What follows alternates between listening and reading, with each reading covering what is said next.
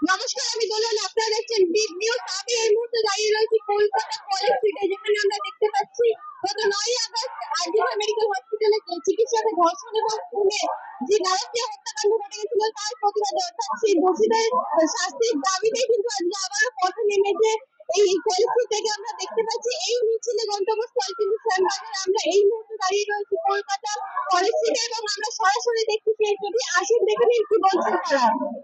আমরা পরিষ্কার যে দাবিটা করেছি, এই নৃশংস খুন এবং ধর্ষণের সাথে যারা যুক্ত, সেই জ্যোতি দোষীদের তদন্ত করে, নির্দিষ্ট করে একদম শাস্তি দিতে হবে।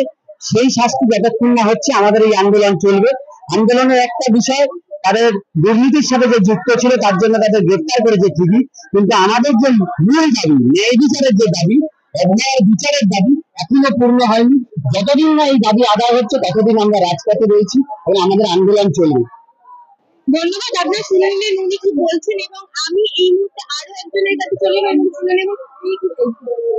এটা দেখুন অনেক আগে সন্দীপ ঘোষকে অ্যারেস্ট করা উচিত ছিল। দীর্ঘদিন ধরে আমাদের সঙ্গে গোটা বাংলার মানুষের আজকে সন্দীপ ঘোষ গোটা ঘটনার সাথে তিনি সরাসরি যুক্ত এটা গোটা বাংলার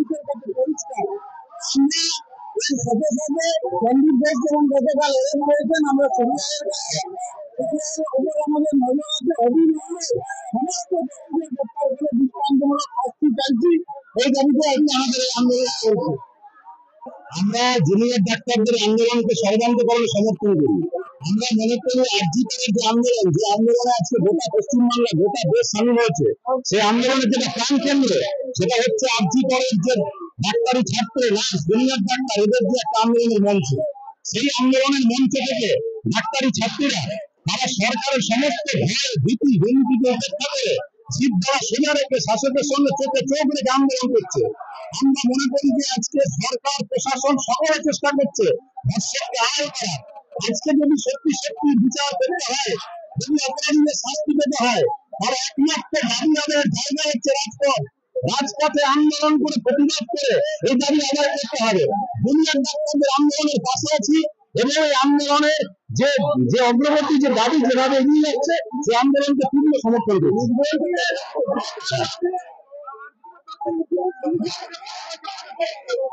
দেখুন, সন্দীপ ঘোষকে গ্রেপ্তার করেছে। এটা দুর্নীতি মামলায় গ্রেপ্তার করেছে। কিন্তু আমরা লক্ষ্য করছি যে একটা গ্রেপ্তার করে শুধু গ্রেপ্তার করলে হবে না, এই সন্দীপ ঘোষ সহ যারা এদের সঙ্গে যুক্ত, তাদের গ্রেপ্তার করে কঠোর শাস্তি দিতে হবে। এবং আজকে এই বিরুদ্ধে যার পরিকল্পনায়, যার যার চক্রে এই আন্দোলন হলো, ভাঙচুর সেই বিরুদ্ধে থেকে দাবি করেছে, সেই দাবিকে আমরা সমর্থন করি।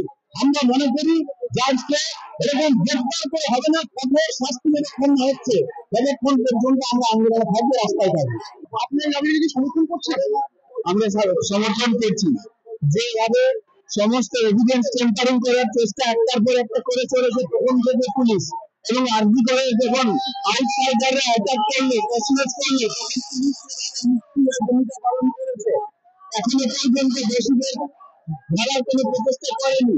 তাকে সাধারণ পুলিশ কমিশনারকে নিতে হবে। এবং এই দায় নিয়ে তাকে অবিলম্বে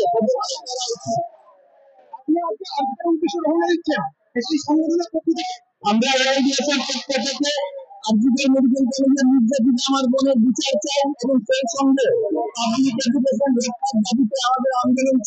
সামনের পর্যন্ত সামনের নেতাজি